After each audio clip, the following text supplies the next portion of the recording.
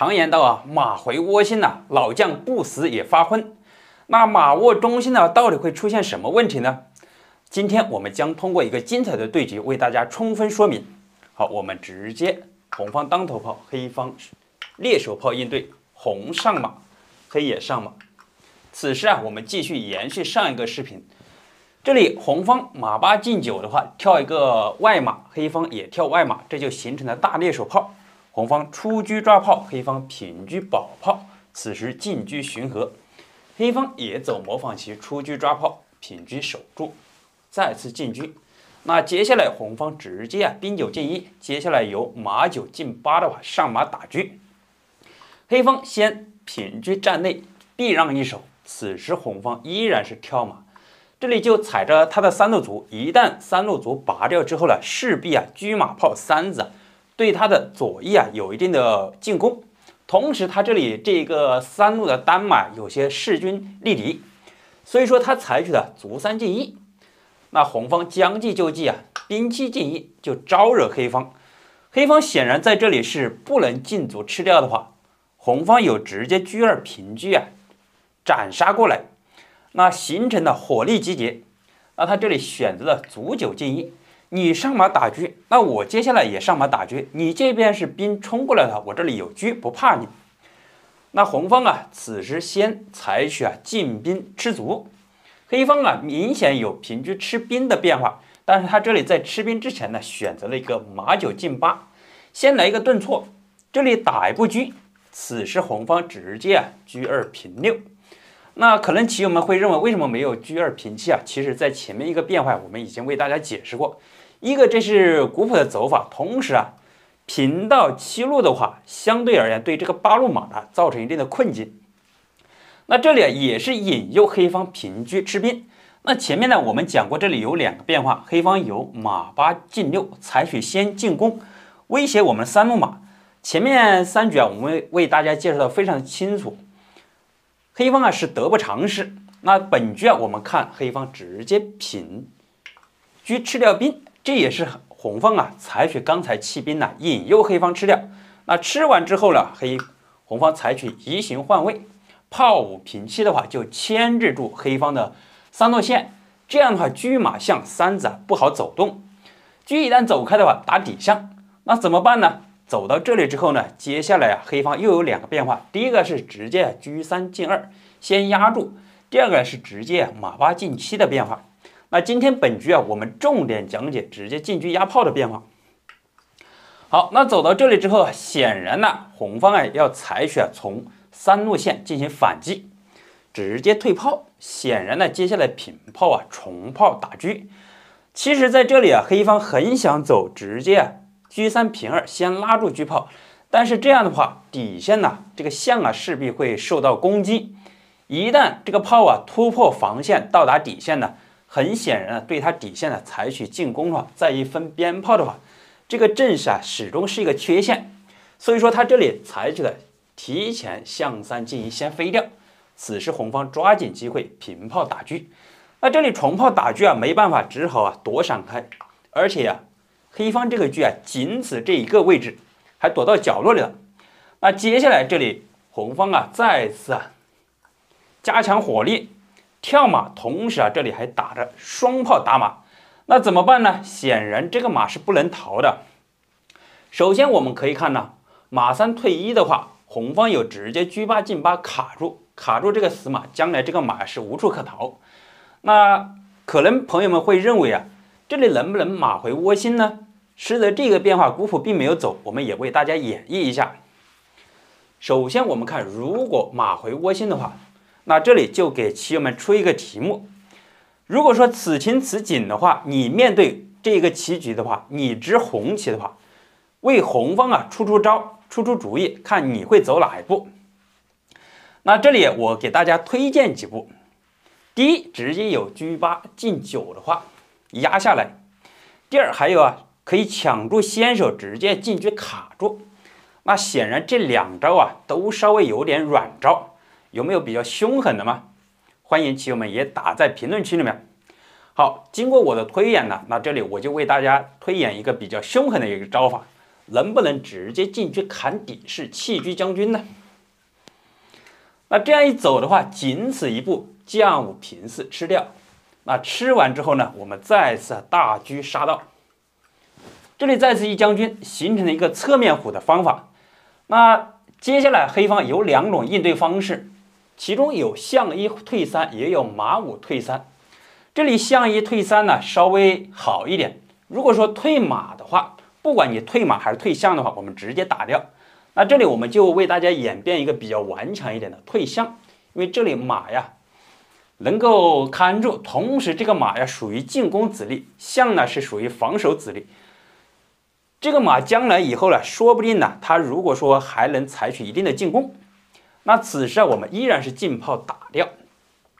打完之后，你这里还不敢跳马踩踩炮，如果说踩炮的平车一砍炮的话，就是个绝杀。老将也不敢起来啊，因为这里有一个高亮马在这里。此时如果说你这里平炮过来的话，那我们平炮打士一将军的话，就把这个车给抽掉了。所以说比较顽强的，它最好的方式就是马五进三，这里上马踩着车，同时给这个马呀来一个别腿。即便是你进炮打掉马，它这里有炮啊，给马生根。那此时走到这里，我们红方该怎么走呢？实则在这里直接上马上炮，给他马给打掉。打完之后你还打着炮，你不打我的话，我打你。好，那么接下来这里就直接平炮打掉士这里一将军。那打完之后呢，很显然呢，这里江浙军怎么办呢？你只能起来吧。那这里就非常的精彩了，我们直接把他这个八路车给抽掉了。好，走到这里，相信棋友们一眼就能够分出胜负。首先。大子的话是一样的，黑方是车马双炮，红方是车双马炮，但是啊，黑方将位不安，士象啊残缺，显然呢，红方啊是特别有攻势。那比较厉害的就是红方这个七路马在这里，让黑方的这个子力啊备受困境。他比较顽强的就是想进炮打象，但是啊，这个马呀正好啊是被黑方这个炮啊这个炮啊必须得吸在这里。比较顽强的就是平车过来赶马，然后进炮打象。那这里就是有个非常巧妙的运子手法了。首先我们平车一将军，那怎么办呢？只能进来，再次平车抓炮。这里实则抓炮的话是一个假棋。为什么说假棋呢？因为这里啊退车啊，这里有炮，退车啊一将军的话，这个老将就绝杀了。黑方来不及进车吃马。同时，他这里还必须得逃开。他比较好的就是将五平六。如果说将五平四的话，我们先吃完炮，把马看着，接下来还有退车抽。此时啊，再次退车吃掉。那走到这里之后，基本上这个阵势啊是不用走了。那显然呢，红方车马炮三子前方有攻势，然而黑方啊目前来说是招架不住。这也是啊马握中心的最大的一个坏处，所以说啊，象棋古语有云呐，马握中心，老将啊不死也发昏。好，棋友们，刚才这个变化纯属我个人推演，那还有其他的变化，棋友们也可以自行推演一下。那走到这里之后呢，我们就按照古谱的来。古谱啊，这个显然这个马呀是无处可逃的话，它采取的是六进五，补后中路进行防守。它这里也是啊。针对红方啊，双炮双车马在右侧啊，他这里给老将留出啊逃生的空间。那此时红方啊直接进炮打掉。那打完之后呢，黑方啊也没有理由不打，直接选择打掉交换。红方再次进炮打掉炮。那走到这里之后就非常的厉害了。接下来暗藏有上马踩象的话，进炮闷杀，同时上马踩象还有卧槽的棋。黑方仅此选择了退象，那走到这里之后呢，红方再次车八进八，先卡住。接下来有平车过来呀，依然进炮打象。你这个象即便是飞来的飞走的话，再次平车过来卡住，啊，依然有进炮下底。好，那走到这里之后，显然黑方啊有点招架不住，赶紧调整策略，炮五平六。准备啊，双向连接。此时红方进车，依然准备啊威胁底象。那显然这里黑方的这个象三进五是不能走到的，他只能走象七进五。那我们可以看，为什么说象三进五不能走呢？那此时这里我们可以给大家充分说明，如果说走象三进五的话，红方直接平炮打掉。那可能棋友们会认为，那你这里打掉的话，我这里不撑掉，这不交换吗？这里大家就会发现，进车啊就是个绝杀，双车错就能够绝杀。所以说这里啊，黑方是断然是不能吃红方这个炮，白白的丢掉一炮。所以说象三进五欠考虑。那由此可见呢，黑方只能采取象七进五。那象七进五的话，红方依然是平炮打掉。那可能朋友们会认为啊，我前方这个子类已经走到这里，打完之后是不是有些不妥当呢？